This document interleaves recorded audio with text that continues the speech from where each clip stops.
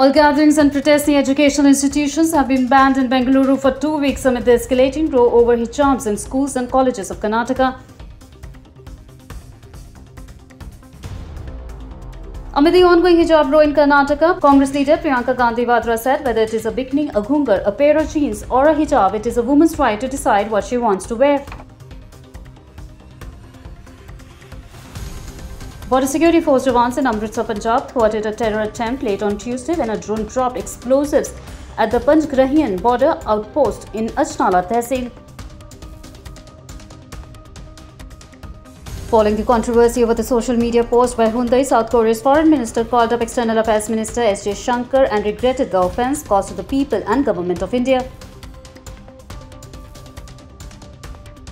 The Indian Space and Research Organization will conduct the first launch of 2022 on 14 February as it lifts off the Earth observation satellite. French President Emmanuel Macron has told reporters that President Vladimir Putin assured him that the Russian forces would not ramp up the crisis near Ukraine's borders. Actor Sonu Sood helped a young boy who met with a road accident in Moga on Tuesday. In a video shared on Twitter page of Sonu Charity Foundation, Sonu is seen helping the unconscious boy get out of the wrecked car and carrying him to his car.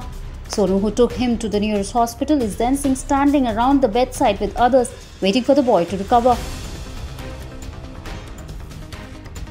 Writing with Fire has bagged an Oscar nomination. The Academy of Motion Picture Arts and Sciences nominated the Indian documentary under the Best Documentary Feature category during the 94th Oscar nominations announced on 8 February.